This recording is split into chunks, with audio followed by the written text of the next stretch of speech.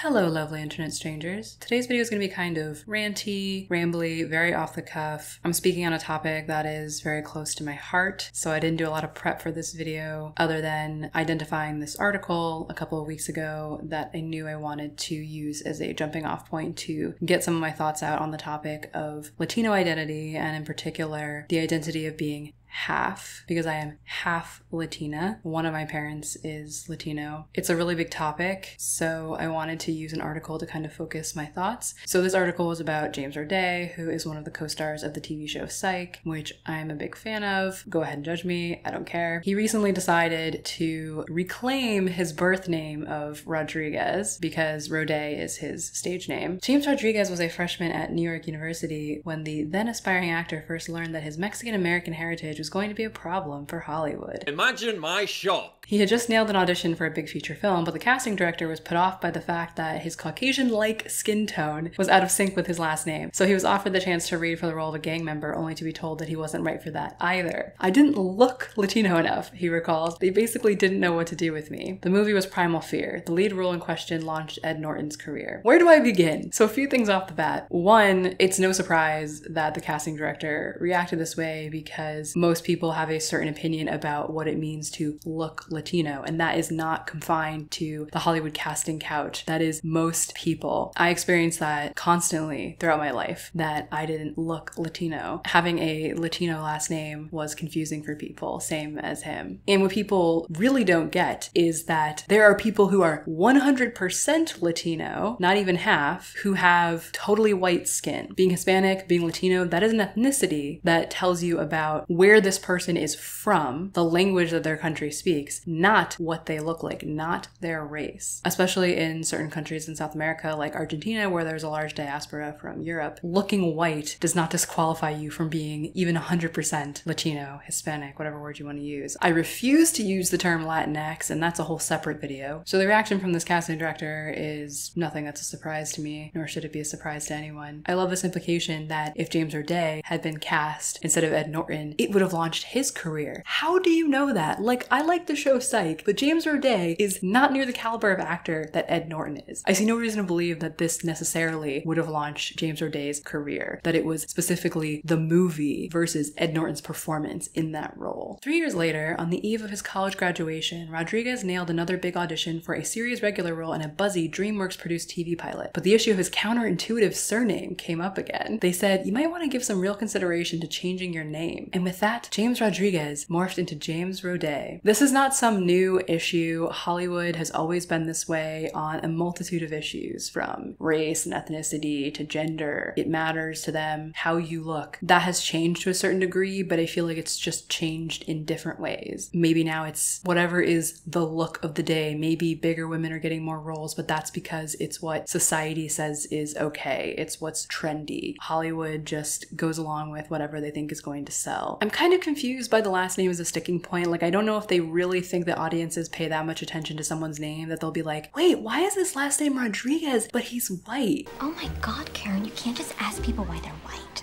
And the article continues. Two decades later, he's morphing back. Wednesday's anticipated premiere of Psych 2 Lassie Come Home will usher in the arrival of James Roday Rodriguez. This is the best fucking part. He's not even dropping the Roday part to go back to James Rodriguez. He's adding the Rodriguez back to, you know, let people know his Latino cred. In an extensive interview with TV Line, Rodriguez breaks down those two inauspicious audition experiences that led him to drop his birth name and opens up about how, some two decades later, the death of George Floyd and the global reckoning with racial injustice that it triggered prompted him to take it back. So TV Line asks, How did you arrive at this decision? Yes, please explain more. James Roday answers, We're all on our own journeys, and everyone is hopefully educating themselves and self reflecting in a way that feels most efficient and actionable to them. For me, because I've always had a bit of a strange relationship with my own heritage, I started talking to my dad in like a real way, as opposed to, Hey, what's up? What does Christmas look like this year? On one hand, it's unfortunate that it took the world turning upside down for that to sink in. On the other hand, it was so edifying listening to my father talk about what it was like to be a brown person growing up in this country. Having him relay to me stories about my grandparents and their experiences in the 30s and 40s. These were not stories that were shared around the Christmas tree when I was a kid. Stuff that I was one or two generations removed from and never needed to reconcile or even stop and think about. It basically blew up my own relationship with my race, my sense of who I am, and when it comes to my relationship with that half of me. And it sent me down a road of reading and wanting to learn more about Mexican American history and its foundation in this country. And it caused me to question a lot of the decisions that I have made as a 44 year old man who has been working in the entertainment industry for 20 years. The biggest of which was the decision to not use my birth name when I started working professionally. The fact that my birth name is Rodriguez is out there on the internet. I've never buried it, but I've also never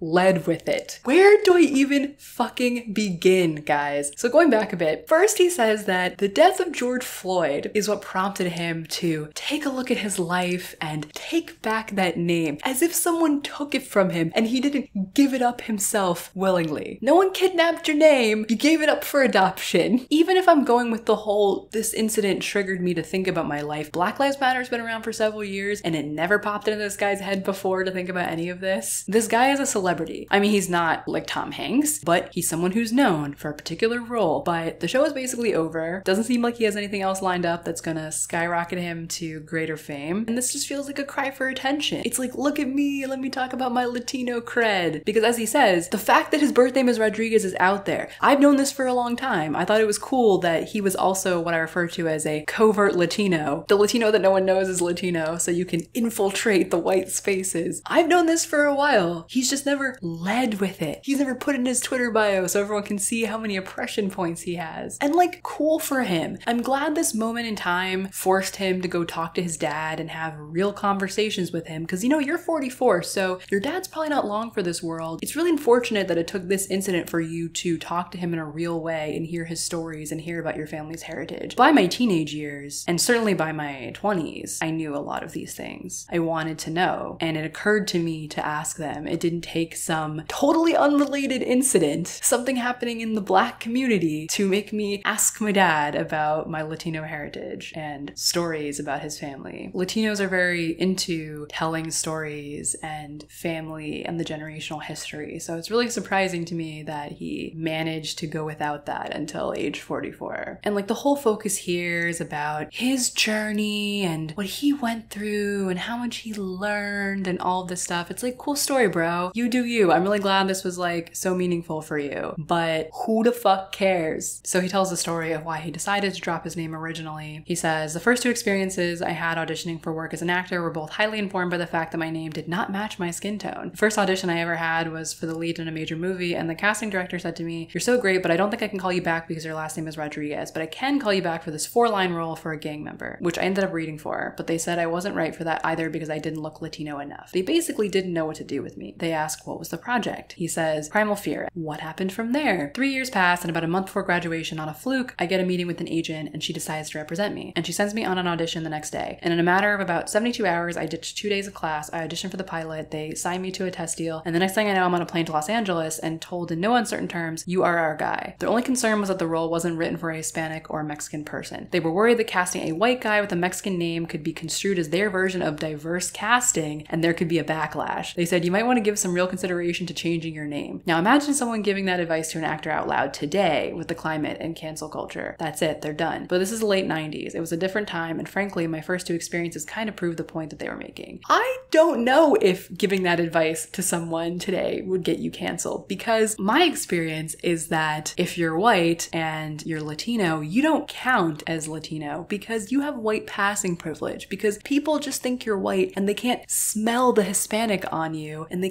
can't see it because they don't understand that Latinos are white a lot of the time. So you have this white passing privilege and go fuck yourself. You don't get any oppression points. You're not one of us. So yeah, I think even today it would be a fucking problem for them if they cast someone who's white with a Hispanic last name and there are no other diverse characters on the show. It'll be like, oh, well, you're making some sort of concession to diversity because he has this Latino last name, but he's one of those white passing Latinos who don't really count for shit. You're casting someone who's got that Latino flavor but is palatable to white people. I don't know if this would get actually said today, but I think people would probably follow a similar protocol. When people are casting for diverse characters on shows today, they're not looking for the white passing or the light skin. They're always being pushed to use more darker skinned people, people who look the part. He's asked, How old were you? I was 21 and I had this bird in hand that I never dreamt I'd have. I had this decision to make, so I called my dad. I was really nervous Because he's a proud Air Force veteran and he's a proud Mexican American man. I was like, Dad, I don't even know how to say this, but this amazing job has come up, but they think I should change my name because I don't look Mexican enough. The man did not miss a beat. He cut me off and said, Son, this is your dream. You gotta do what you gotta do. And that was it. He let me off the hook. There was no further discussion. I didn't have to say anything to my grandparents. He took care of all of that. And sure enough, I did the pilot. I came up with this name that I pulled right out of a Chekhov play that I was doing at the time. And I've been Roday ever since. And 20 years later, I realized I essentially perpetuated an institutionalized element of what's broken about this industry,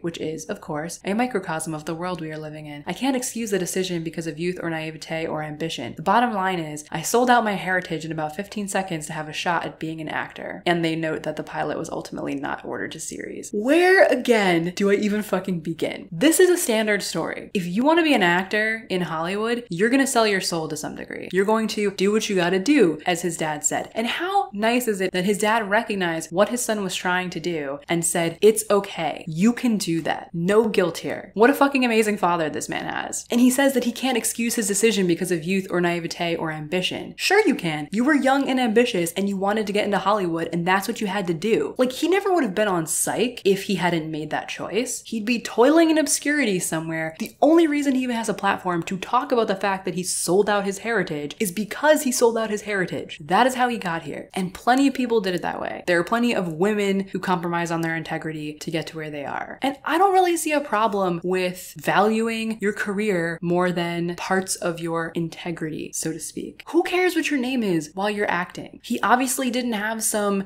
big dream that he was gonna be representative of the Latino community and make other Latinos feel like they could put their Latino heritage out there. And even if he had kept his last name, it's not like he looks Latino to most of the fucking world, so he's not representative of shit. He just looks like a white guy. If he had decided to not change his name back in the day, he would have just been beating his head against a wall. He had no power. If he would rather not work in an industry that would cause him to compromise himself and his identity and his heritage like that, then fine. But clearly that was not the case. It's really easy for him to sit here now that he's made his success and look back and shit on his younger self and say, look at what I did that was so horrible and get his virtue signaling points that he's so hungry for. It's like, give me a break. You would go back and do the same fucking thing. They mentioned that the theory online was that he had changed his name because there was already an actor with the name James Rodriguez. He says, yeah, I think my agent came back the next day and was like, by the way, there is a James Rodriguez in the Screen Actors Guild, so you would have had to use a middle initial or something. And I was like, ah, then it was meant to be, and that became the explanation. But in reality, it was not. It was something that I used to make myself feel better and to sleep at night. But now I'm gonna go back to the name I was born with. It's long overdue. I'm a little bummed out that my grandparents are not alive to see it, but my dad is, and I think it will mean something to him. That in and of itself is reason enough for me. Cool story, bro. You had this story you used to tell yourself to make yourself feel better about why you sold out your integrity, why you sold out your heritage to get into a soulless industry. You think it'll mean something to your dad. But your dad is also the one that said it was fine and let you off the hook.